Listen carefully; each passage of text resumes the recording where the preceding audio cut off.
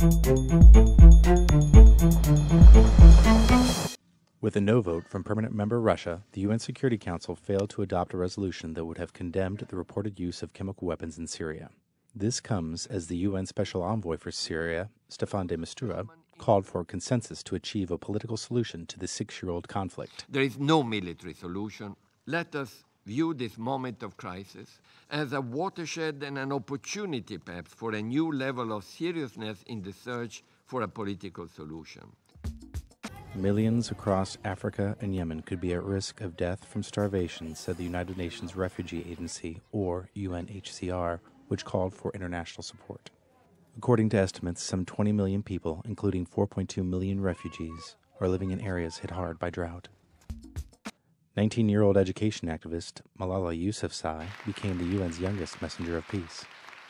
She says the designation has strengthened her conviction to promote education for girls. And if we want to see our future bright, develop, if we want to uh, make our lives better, we have to invest in girls' education. That is crucial. We cannot ignore it.